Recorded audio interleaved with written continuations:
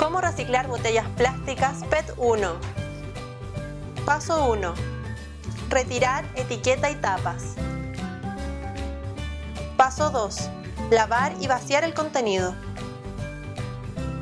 Paso 3. Secar. Paso 4. Aplastar la botella. Tu botella está lista para ser reciclada.